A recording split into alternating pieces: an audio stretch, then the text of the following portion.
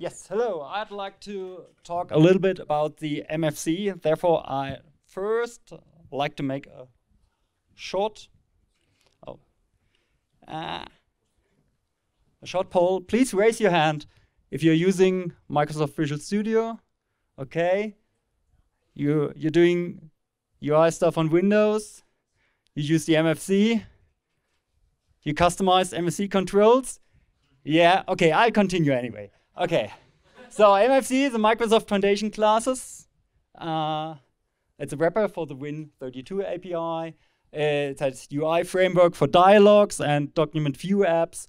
And it has a class hierarchy that uh, builds up the Windows controls, uh, standard window controls, and it has some other stuff inside.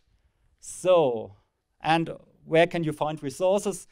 There's Code Project, Code Guru. They have like a large library of uh, of uh, yeah customized controls. You have your own code base and the MFC itself because it's shipped with a full source code.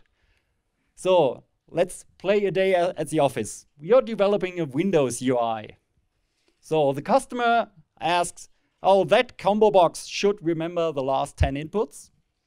You look around and the developer comes up with a CMRU, so uh, most recently used combo box, and it's publicly derived from C combo box. That's the base class in the MFC.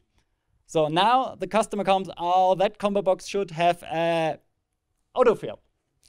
So you come up with a C autofill combo box. That's also derived from C combo box. And now the customer that, and that combo box should have both features. So the developer, ah, what should I derive from? I could take the MRU combo box, I could take the autofill combo box, but in both cases I would do some copy and paste and put it in there. And what I can't do is that because you can't derive twice from an MFC class because the MFC class has always be the first in the uh, in the base class list. So they simply don't compose. So what can we do? We can go to mixins for the rescue and for those who have never heard of mixins, it's just you take the base class and uh, you take a template parameter and put it in as your first base class, in, in my case. Um, so what can you do? You, you make an autofill combo box type, you make an MRU combo box type, which in my case also has itself uh, a mix-in from some helper class, and then you can have your, your autofill class that's derived from uh, that mix-ins combo box. And if you want to have an MRU autofill or an autofill MRU combo box, the, they behave both equally. You just take both mix-ins and put them in.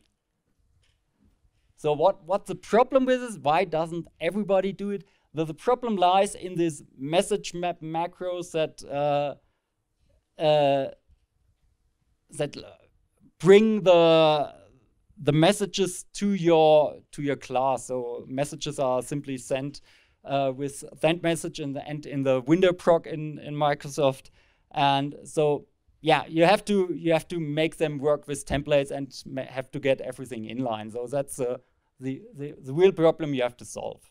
But it's quite easy, and I don't know why others haven't done it. Um, so summary, you should consider mixins to customize class style libraries that don't have templates for putting in your base types. Um, they're easy composable, of course, and they can get you your job day, uh, day job done. Um, so, and finally, uh, for those who've seen my talk last year, I want to slightly misquote Cato the Elder and say that